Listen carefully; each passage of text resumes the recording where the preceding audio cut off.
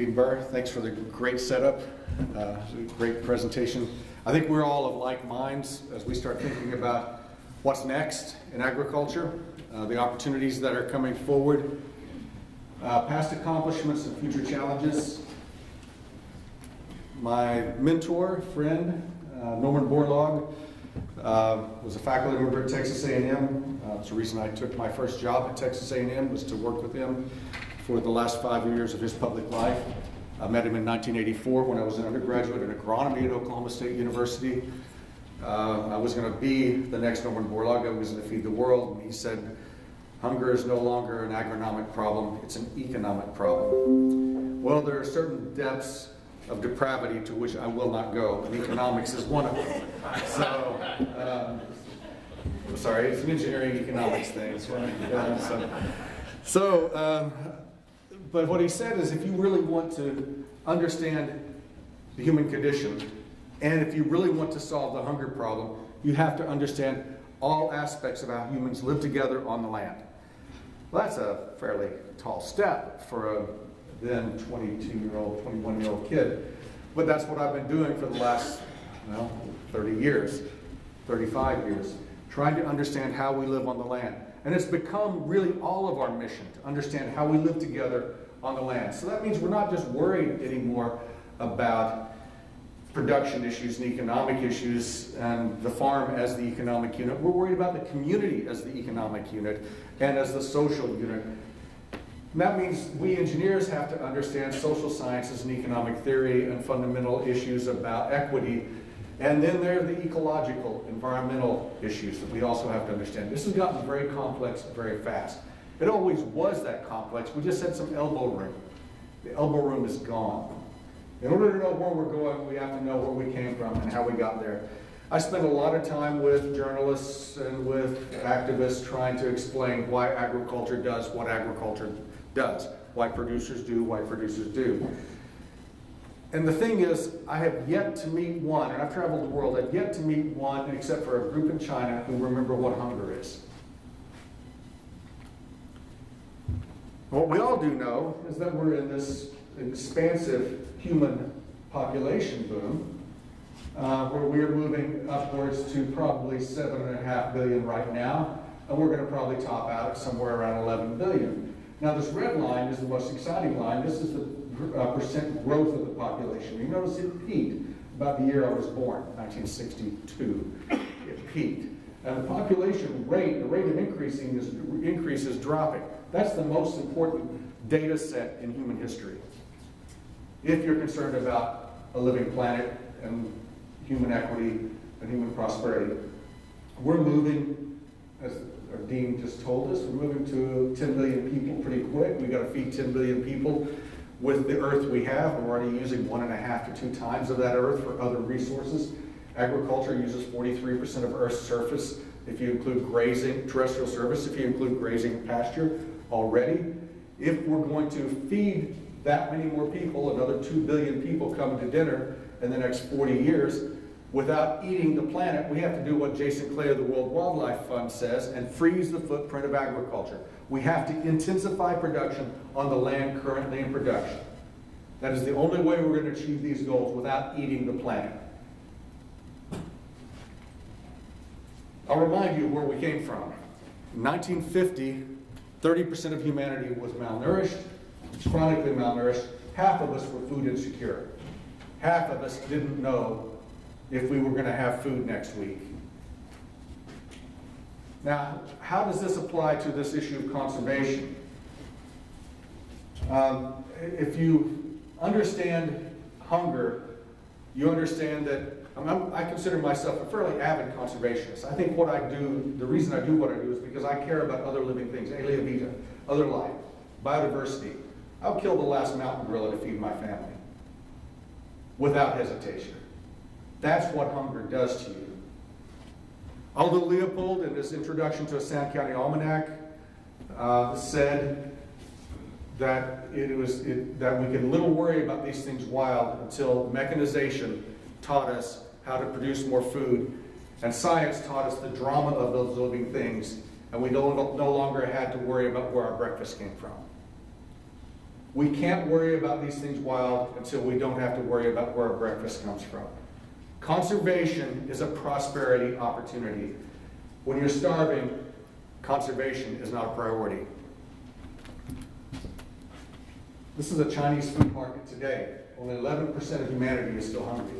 Those 845 million of our brothers and sisters who are chronically malnourished today, though, are not malnourished because they can't get access to food. We can meet their caloric needs, not their nutritional needs, there's a difference, but we can meet their caloric needs with 30% of the rice we lose today post-harvest.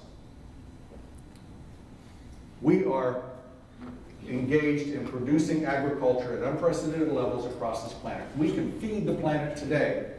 So why aren't we? Paul Collier makes it very clear in his book, The Bottom Billion. Folks can't afford the food. Today's farmers are feeding right now 6.6 billion people today. 6.6 billion people are nourished by the producers from the land. That's the population of 1996. We are on the cusp of ending hunger, which is what Borlaug and his companions set out to do with the Green Revolution. It wasn't about feeding the world, it was about ending the tyranny of hunger, about eradicating hunger from the human experience so that humanity could prosper. And part of that goal was to reduce fertility rates because Norm told me in 1984 uh, that he watched, when I first met him, he said, I watched the population monster devour my life's work. He lived long enough to realize that, in fact, our, our efforts to actually reduce hunger and to increase human prosperity is reducing population growth. You live long enough to understand that we will see that moment where the population monster is slain. What we forget is that in 1950, global child mortality, death before five years of life, was greater than 22%. One in five children didn't see their fifth birthday. If you've ever lost a child, you know what that does to you. One in five. It's less than 4% today, still too damn high. Now that 4% today is because largely of preventable waterborne disease. 6,000 children will die today due to preventable waterborne disease. 6,000.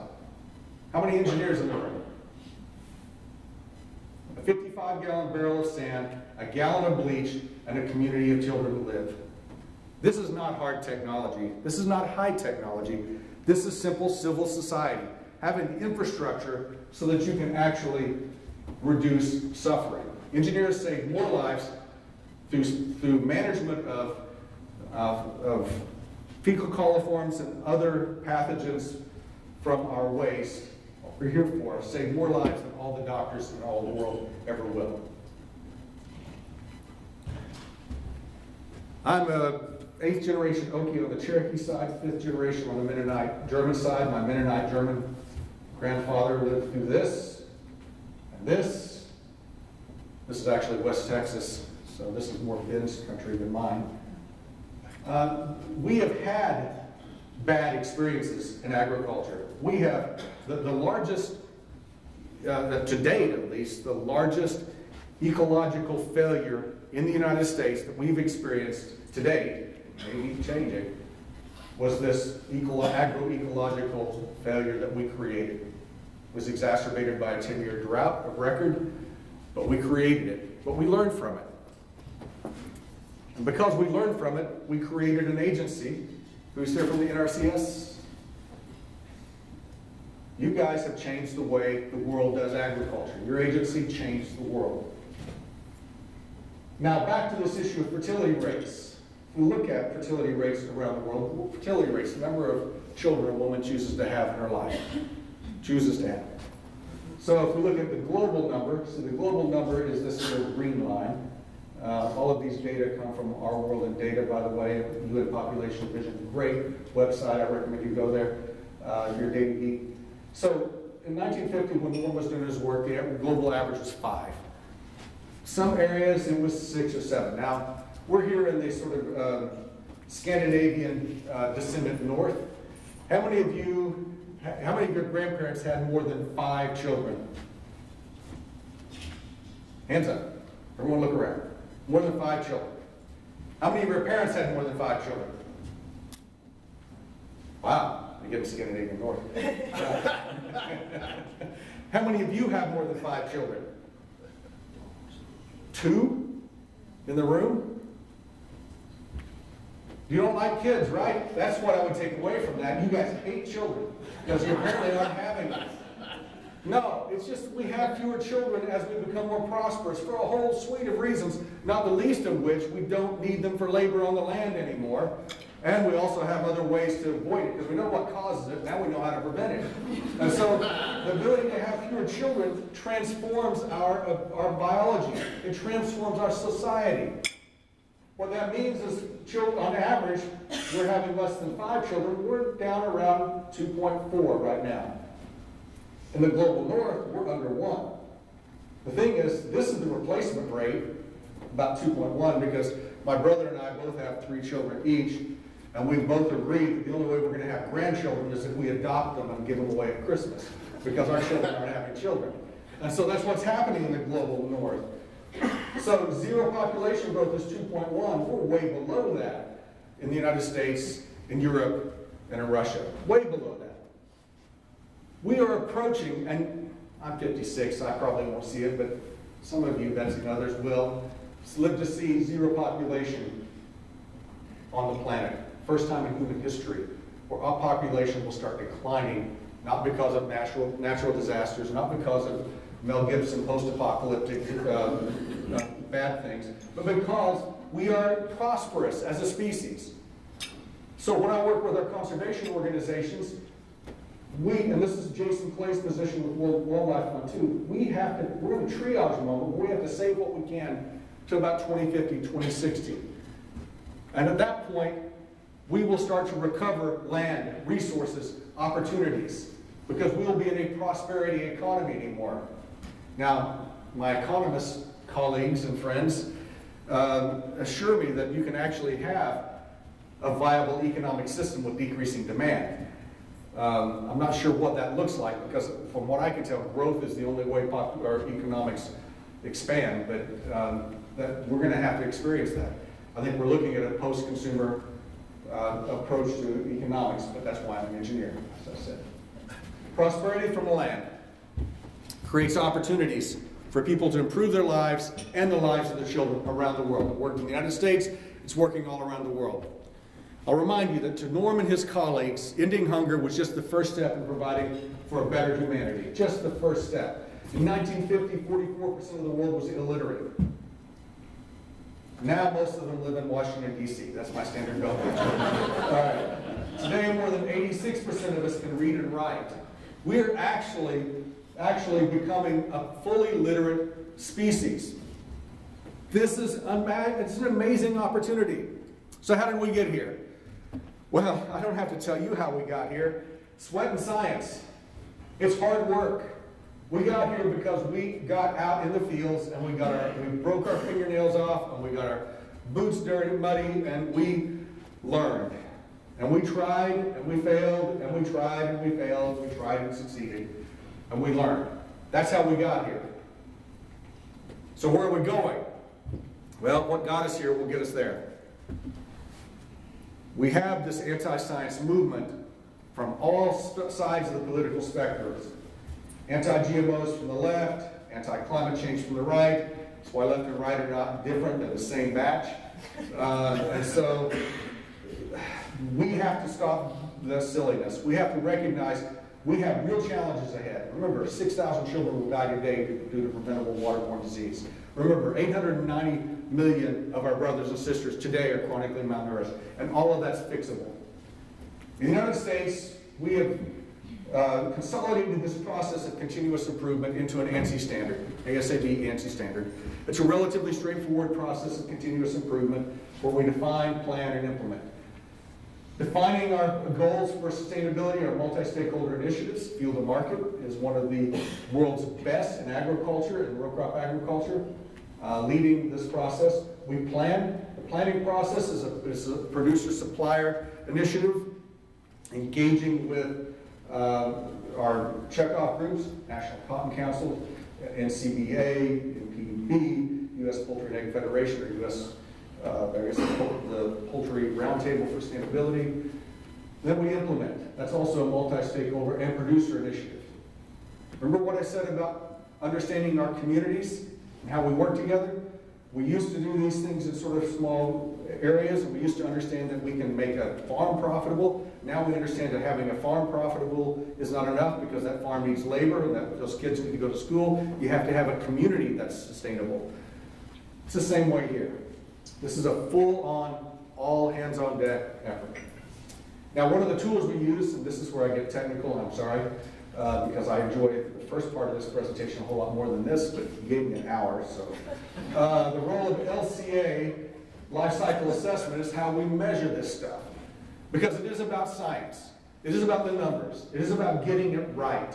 And understand when you get it wrong and trying to figure out why it went wrong.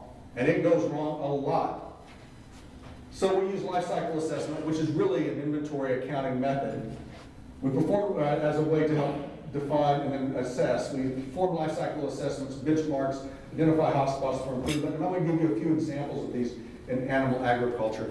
And then we use interpretation of the life cycle assessment to find research directions, focus on areas that can move the curve.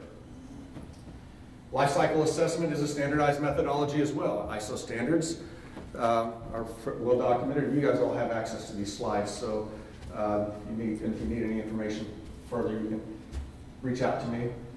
Life cycle assessment isn't complicated. Uh, it's not rocket science, it's accounting. And we all know that that's not complicated.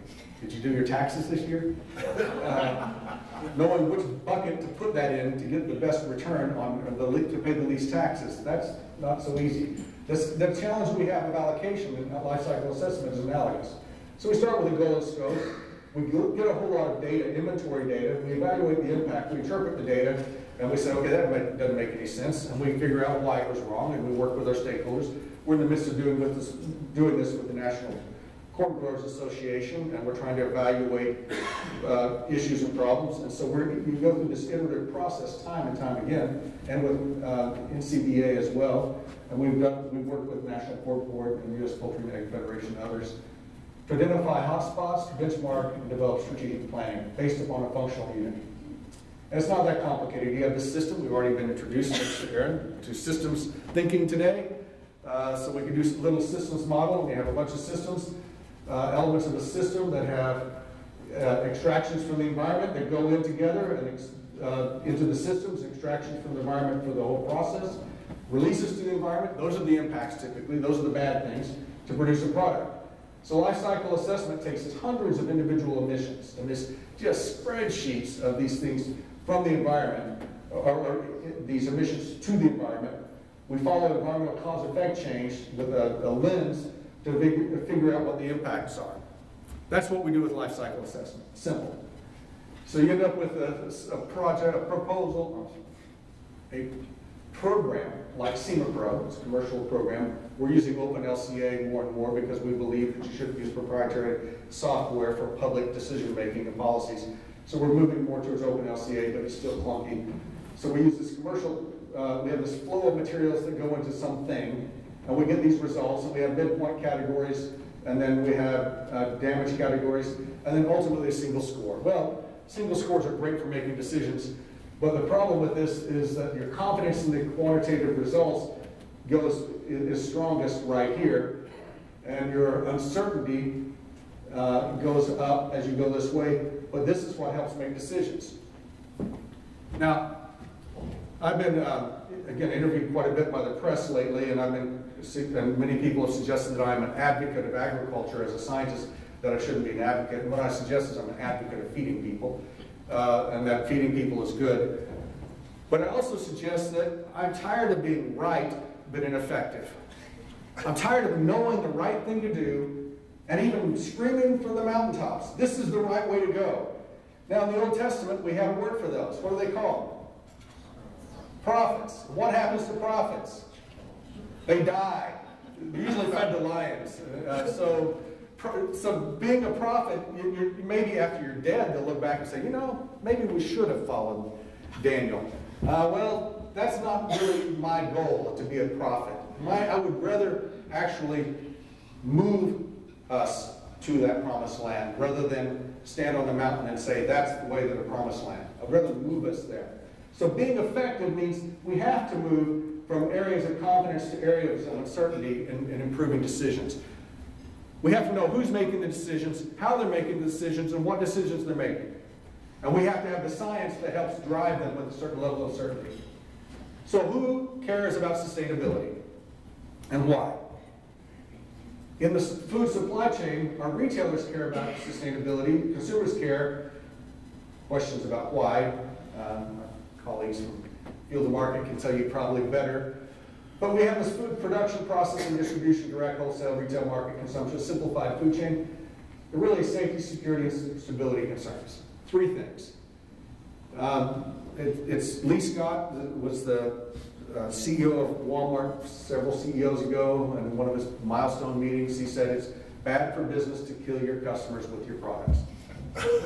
So you just ought to do that. They were dealing with intentional adulteration of pet food in that case, but human food in China from China. Safety, security, and stability of your supply chain. The ability to put products on the shelf. The ability to put safe products on the shelf. Safety is a key issue in, um, in food systems. So the three big questions. What are we trying to sustain? Who gets to decide? And what are more sustainable decisions? That's it. Now, as we look at these questions, we realize that it's a big food production supply chain, even just in the United States, but it's a global supply chain. So let's try to align our priorities. Let's try to get this right. And we've been working, those many of you in the room, we've been working together for over a decade to do this. Aligning our priorities helps us provide focus on activities and programs, amplifies impacts across indicators, creates common language method and understanding across sectors. I can remember 10 years ago when we would, when we would present at uh, groups like this, the, the standard phrase was, nobody knows what sustainability is, everyone has a separate definition for it. I don't hear that much anymore because we've defined it collectively. We know what it is now. We know how to get there. We know how to measure. It really tipped off our European environmental colleagues, our cousins in Europe, who were using sustainability as a cudgel to beat up on modern agriculture because we owned it. And then they, so now they don't talk about sustainability anymore. They talk about uh, agricultural ecology, uh, agriculture ecology which is not a new term either, except for the way they define it, it means small farms producing in a way that that farmer will go out of business, and then someone else will move in and go out of business in that small farm. Uh, French farmers, European farmers are dying. They're in worse shape than U.S. farmers. U.S. farmers are in pretty tough shape. So there are times when we can say, thank God we're not Europe. This is one of those areas. Expands common opportunities for engagement of stakeholders engage, enables sharing of improvement technologies and practices. So now we're talking about moving the curve. If we look at soil erosion, the proportion of of farms that have soil erosion and, from soybeans, this typical probability distribution, we can see that on, on a central tendency national average, in 2010 we lose a certain amount of soil uh, per, uh, per bushel of soybeans produced. Most of our soybean producers have low erosion, a few have very high erosion. So what do you do? You go where the erosion is and you fix the problems there. And if you address the problems where the problems exist, you move the curve. Moving the curve is a simple concept. Make things better. Incremental improvement matters because incremental improvement over time turns into what looks like big steps. What looks like 50% of humanity is chronically malnourished to 11% of humanity is chronically malnourished. Big steps, but they're small increments. We set goals. We set goals using a common language. Goals of uh, the language of our goals are aspirational strategic goals, which belong to our stakeholders. Aspirational goals, we're going that direction. Strategic goals, we're going to set a specific time and date, or time and amount. And these belong to stakeholders. But then management goals belong to the producers because we never tell producers how to produce. One of the biggest, biggest lessons that we've had to get across to our NGO community in the United States, we don't tell producers how to produce. We don't tell processors how to process. We agree on what's important and we work on making those important things better. And we report them publicly and we use transparent systems to measure and operate. So this is that starting at the beginning, defining. Defining sustainability for the enterprise, key performance indicators, and metrics. Now, key performance indicators are just things we care about. Nothing fancy. What do you care about? We've worked with, again, we've been at this for a decade. It's easy, we care about water quality. How the hell do you measure that? Uh, and then if you even agree on how you're going to measure it, who's measuring it? Where are they measuring? When are they me- measuring it? And who's going to report it? These things get complicated very quick. What we do agree is that all of our key performance indicators should be outcomes-based, science-driven, technology-neutral, which means we don't define the technology that improves them, or that, that's not our job. That's below that line on the, on the management curve. And then transparent. We tell the world. You tell the world. We have strong alliance of these methodologies across U.S. agricultural initiatives, strong alliance. Everyone's got their twist because every agricultural production sector is a little different. But these standard methods have been broadly adopted. And these methods didn't come out of nowhere. They came out of, an, uh, again, our work with Field to Market. And how long have we been at this? 2006. 2006. If I can do my math, that's 13 years and counting. Right? So we've been at this a long time. It was a small group when we first met um, in DC, and now it's, you'll tell us, a lot of people now. So, the Alliance for Sustainable Agriculture focuses on defining, measuring, and advancing sustainability of food, fiber, and fuel production.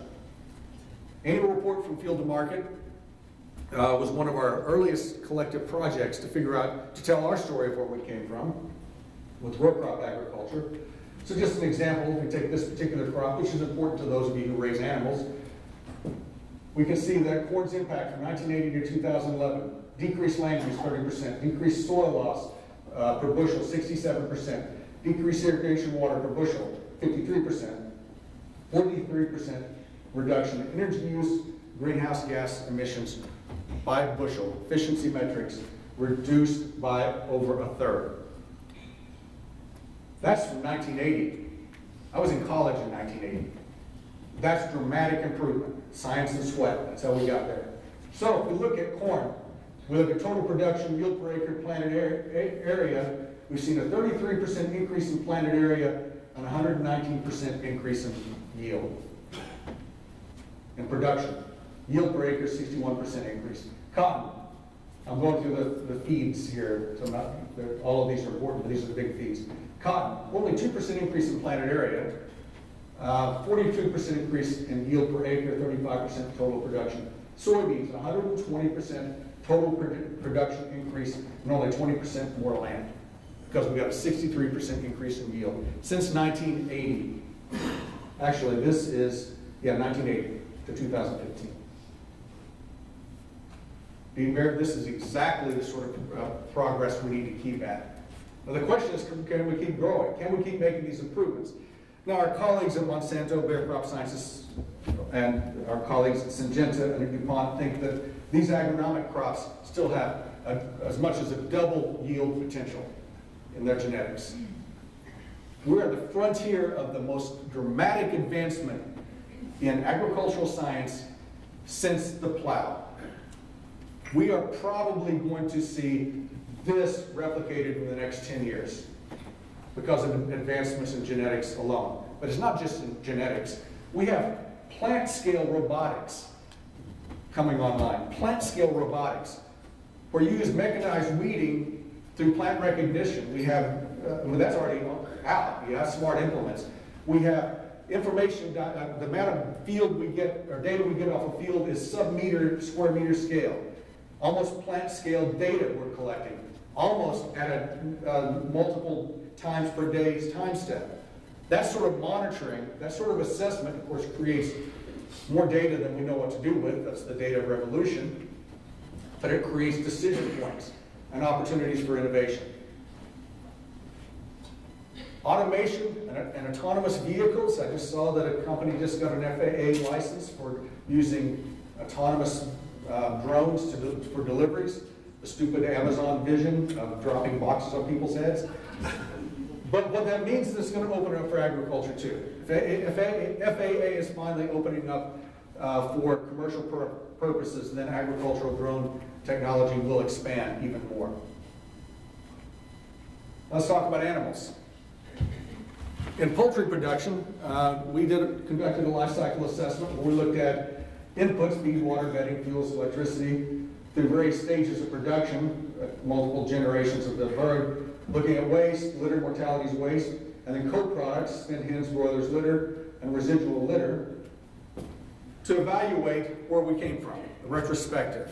Now, and that's part of, the, part of that retrospective. I grew up, I, mean, I still see these, these barns that are typically used to store all the crap that folks have accumulated. They're not growing chickens anymore. They're old washing machines and dryers and old refrigerators and stuff in there now. Uh, fortunately, they're starting to blow down and we're starting to bulldoze them off restore the land a little bit. We have these 1965 production houses, a modern production system. This is 2010. They're not, 10 years on, we, the ventilation systems have improved dramatically.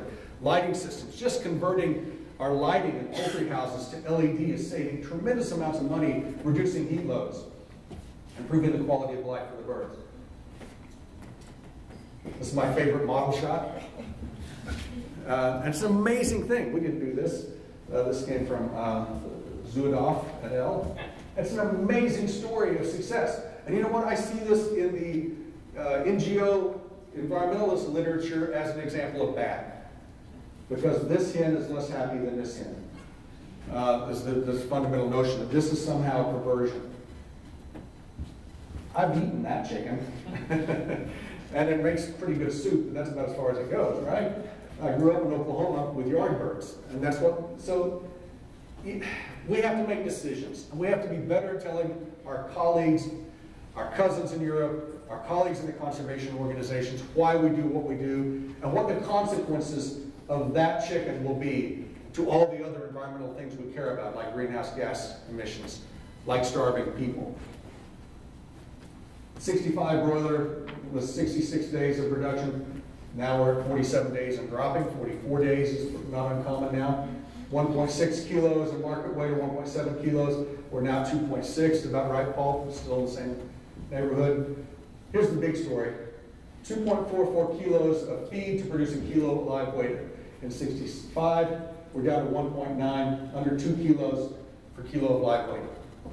It's incredible feed efficiency conversion. Mortality's dropped by a third. You still have work to do there. 4% mortality is still pretty high uh, if you're hauling those birds out. So if we look at sort of the environmental impacts, if we look at the red bars of the impact of the industry from 1965 to 2010, so this is sort of analogous uh, Dean, to your uh, Minnesota program, where you're looking at what happens if, uh, if we didn't make these improvements. So if we look at uh, 2010, if we, we see uh, the impact of the entire poultry industry across ozone depletion, global warming, smog, acidification, etc. You can see that it's been relatively, uh, the impact has, has been reducing. Uh, the decrease in impact has been significant from live uh, from across them. But what would happen if we didn't, if we used, produced the same number of birds with the, um, with the technology of 1965? It would be dramatic. Instead of seeing reductions, we'd see dramatic increases. These are the environmental impacts. I like this picture of pigs. Sorry, National Pork Board, but I like this. This is, these are pigs on the move. So, changes in pork and global warming potential from 1965 to 2015 across the various parts of the feed, of, of the production uh, inputs. So we have piglets at the top, field manure field emissions, barn emissions, heating, which is very small, feed, uh, infrastructure, electricity, and others. So you read the bar graph. And you can see the feed has been going down. We see that the barn is actually increasing a little bit because our barns are getting bigger. These are decisions we make we make these decisions so we can reduce mortality, so that we can increase feed conversion efficiency. Some of the others have stayed pretty much the same. So this is the other thing life cycle assessment tells us. It tells us where the problems occur, where we made improvements, and what improvements we can make in the future. Now if we look at energy use, lights, fans, infrastructure, feed, piglets, etc., feed's still the biggest bar. And we have production down cycles which have overall redu reduced energy use for the whole U.S. herd, but you can see what we're talking about here. 2015, we haven't seen a lot of increases or changes there. We've seen heating start to increase as we start to man manage uh, barn temperatures more explicitly. Feed's still the big one. The land use impact is the big story. This is the big story. So we've seen dramatic losses of, of uh, square meters per area required to produce a kilogram of live weight pig. Dramatic reductions. That's feed efficiency improvement because land use comes from the feed. This is why we don't raise pigs out in the paddocks anymore. That and the fact that there are all sorts of really bad diseases that they're subject to if we do that.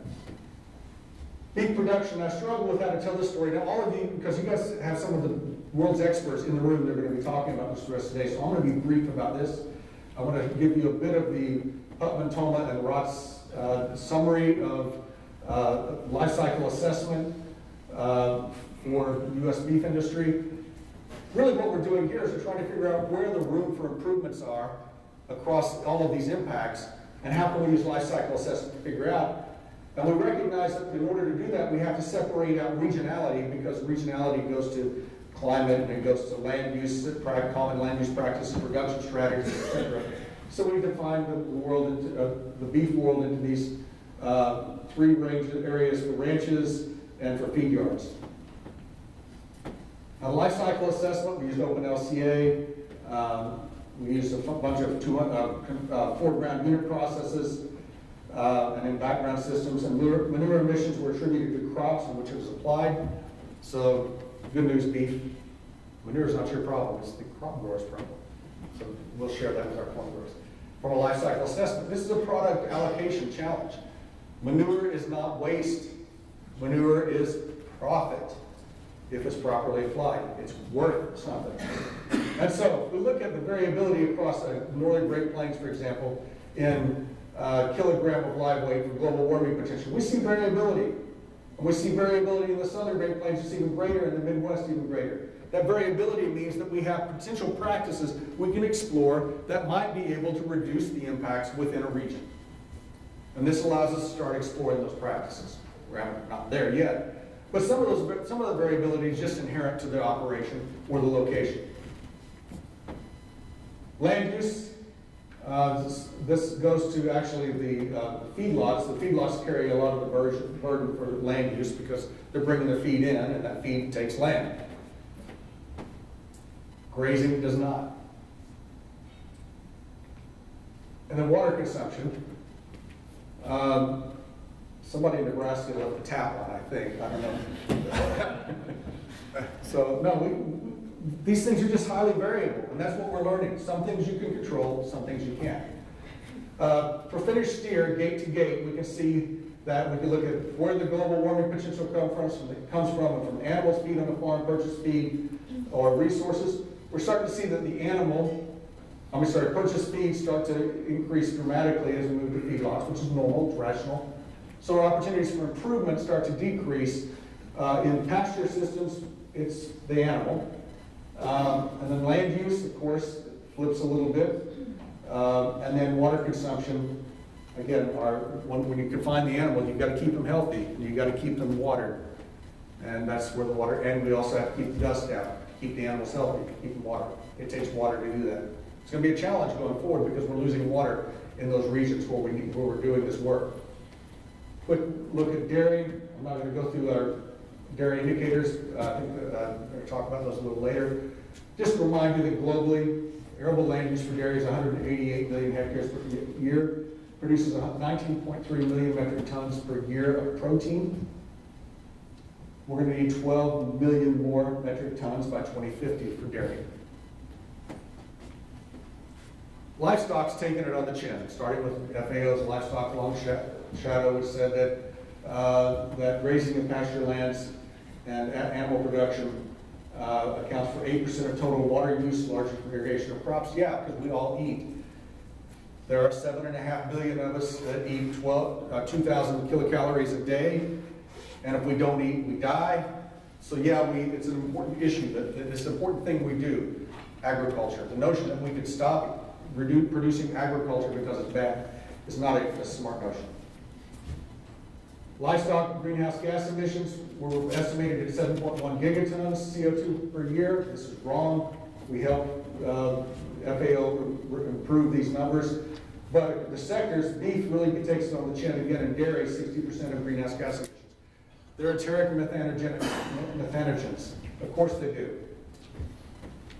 Kelliher and Clark in 2010 estimated that pre-Columbian exchange in North uh, America, we had 30 million bison on the Great Plains that emitted 2.2 teragrams of, um, or million metric tons of CO2 a year. Our estimated cattle population in 2010 was 36.5 million head, 2.5 teragrams CO2 emissions per year. They're ecological analogs. This is not new methane to the environment. It's not new. It was here before we were here. So cattle aren't killing the planet. It's your SUVs that are doing it. So let's, uh, we are, because we all consume things. So, we're trying to advance and sustain human prosperity. We have common cause with our conservation organizations. We have common cause with the United Nations, with the Sustainable Development Goals, because the Sustainable Development Goals of the United Nations, ending poverty, ending hunger, good health and well-being, clean water and sanitation, these are agricultural success stories. We got those things better by doing what we do in the land, prosperity from the land. The challenge is we have to make decisions. We have to be grown-ups. We have to understand that until we stop the demand function for increasing resource extraction, we're going to have to make decisions on which resources we're going to continue to extract. When are we going to stop that demand function? When we hit zero population. Animal agriculture accounts for 40% of ag gross domestic product around the world. 1.3 billion people are employed. 880 million rural people living on less than a buck a day. Those starving people would be worse off, drastically worse off, without agriculture because many of them, of those producers are women. It's the only property they can legally own in their countries. Meat production will more than double, demand will more than double by 2050. Milk production will almost double by 2050. We've got to get it right. We've got to get better at it. We've got to get more intense at it.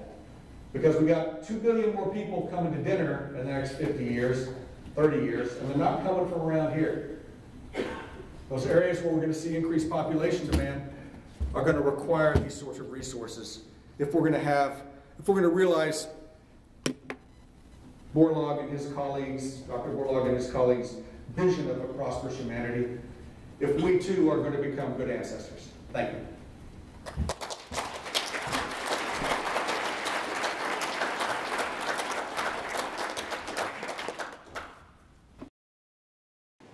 Not sure that this is on. Uh, we have time for some questions. Uh, we don't have the mic available for the audience, so please try and speak loud and we'll have Dr. Matlock repeat the question for you. Yes, sir. Yeah, have you done an LCA on synthetic meat production? No. Uh, actually, one's already been done. And it depends on what synthetic means, because the, the Impossible Burger is actually a plant-based product. It's not a cell-based, cell culture-based product. Um, and it, what we found is that the, the LCA that we have seen on cell-based products are, their boundaries are not adequately defined for any sort of comparative purposes. You really need a cradle to grave LCA to make that work. Uh, how many of you have ever done tissue culture? It's a pharmaceutical level process. It's prone to infection, contamination, and that requires aseptic conditions. Uh, and so it's, it's an incredibly energy intensive process. It requires incredibly pure inputs. In my humble opinion, as an ecological engineer, as a bio and ag engineer, it's insane. If you don't like meat, or if you don't want meat, eat plants. That's fine, no judgment. Uh, I don't want to fly next to you in an airplane, but don't do that. Just, eat, just eat plants. That's fine. But the notion that you're going to do this tissue culture, it's just a, this tissue culture thing it's just a shiny, bright, new thing that, in my opinion, has no legs. Literally, no legs.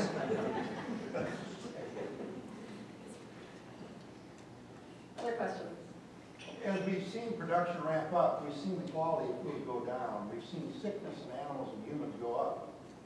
And, and we've seen soil health go down. And the American farmer is getting less and big ag is getting more. So that's the environment we're in today in the real world. And the question is, what do we do about it? Well, I, I'm more focused on quality of food.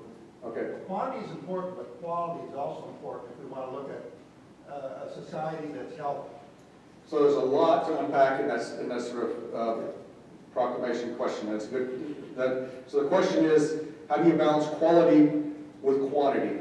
And we all know that the scaling up concept, that there has to be a standardization. All you have to do is buy a tomato at the grocery store versus picking one off your backyard and buying to know the difference. Um, To know the difference in quality that comes from scale. There are categories of consumers on the planet. And those who are wealthy can go to Whole Foods and pay seven dollars for an asparagus bottle of water, bottle of water with sprig asparagus in it. And again, your business, not mine. Um, Your money, not mine. We still have 890 million chronically malnourished people in the world. They're chronically malnourished because they make less than a buck a day and they can't afford the food. Scale is the only way to make that affordable. Sometimes small scale can make it affordable too because it's local. We do not have good peri-urban agricultural production systems. The opportunity for expanding peri-urban agriculture outside of Nairobi, Kenya, outside of uh, Accra, Ghana, outside of major cities, outside of uh, pick a city in India, within the city, peri-urban ag and interurban ag for, for intensive, uh, small-scale production of fruits and vegetables is real. And the technology is making that more viable. It employs people, provides available fresh foods. That is analogous to the Green Revolution. It's just not focusing on agronomic crops, it's fo- focusing on fruit and vegetables. It's happening in the United States already. You guys saw yesterday an aquaculture facility, indoor aquaculture facility producing shrimp. That sort of thing is possible. It requires, the one thing that was missing in 1948 with agriculture for small producers, that Borlaug and his colleagues worked hard to make happen, it requires finance. The damn economics thing again. You have to be able to get, so, but the availability of microfinance and the, and the, uh, my phone's on the table, the, but the proliferation of the technology to access and to, to move money into producers' hands from, to, so that they can actually invest in the resources is critical. We need our global development organizations to think small. Not to think $500 billion projects, but to think $50 projects. At least to think about ways to implement those small-scale producers. Because this is an example, we're scaling up, it means scaling up the number of people involved in production. And by the way, that wouldn't be bad for Minnesota either. Yes, sir? Hi, Marty. Hey, Uh, You're very familiar with what's going on in the animal industries in terms of defining sustainability. I am. Uh, Next week, in beef industry is announcing their metrics, or they're rolling out their uh, sustainability procedures. Uh, Tell us, in your opinion, these industries' efforts to define sustainability, what is that going to mean differently for what we do in the manure management area, or or the focus we should be taking? So the, the question is, how will the, the, the sector level definitions of sustainability indicators and priorities impact the process of, of of manure management? It, it, you saw the, the data. The data are that waste, waste is a bad word, that animal excrement, manure, is a source, especially cattle and pork, and in poultry too, major source of water quality concerns, of greenhouse gas emissions. Uh, and so the opportunities to reduce those impacts is, is clear. It's self-evident. You close the loop. The efforts of these organizations should, and, and in my experience, the, the indicators that we're developing across beef, pork, poultry, aquaculture even, are amplifying the need for closing the nutrient loop and the carbon loop in these systems, amplifying it. So what we've done in the shadows, those of us who work in animal waste, it's not a very good dinner topic for conversation. Those of us who work in this area, who've done in the shadows for decades, now are going to be front and center in this challenge to make things better. Uh, There's an old uh, saw that when Dillinger was, was asked, why do you rob banks? That's where the money is. Why do you worry about animal manure? Because that's where the greenhouse gases are. That's where the sweet spot is, literally, for nutrient recovery. That's where you're going to make the soil healthier. And by the way, I will push back, because of advancements in technology, genetics included in agronomic crops, we're seeing more carbon going into our soil now than we have in the last 50 years. Our soils in the Midwestern United States, in the ERS1 heartland region, have more organic carbon in, in them than they've had probably since 1950 or before, since we started uh, moldboard plowing. Because we have low-till, no-till conservation tillage practices, we leave organic matter on the ground. We leave it in the ground, and it's making the soil healthier. So it's not just either or, it's either and in many cases. We just have to find those. So that manure plays, a green fertilizer plays a key role in that. The best thing you can do for a soil to recover it and to advance it is the ecosystem is to add living biota to it, add biomass. Does that answer your question? So get ready for the busy work. It's gonna get busy.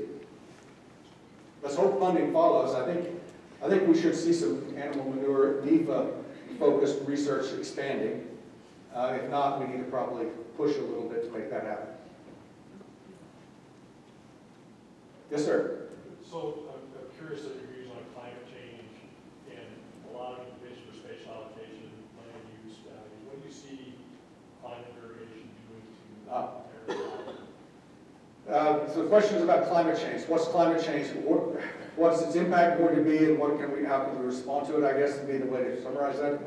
Well, we're doing, a we're involved in an EPA grant right now with colleagues at Urbana-Champaign and, and uh, UC Davis and Florida, asking the fundamental question, where are we going to grow fruits and vegetables in the next 50 years, based upon climate change? And So in our analysis, um, from an agriculture perspective, if climate change is a shark, water is its teeth. Water is everything. Now temperatures matter too. Hotter hots, colder colds are really problematic. But really, water is going to, we can control hotter hots and colder colds in many systems. Uh, that's called moving them indoors.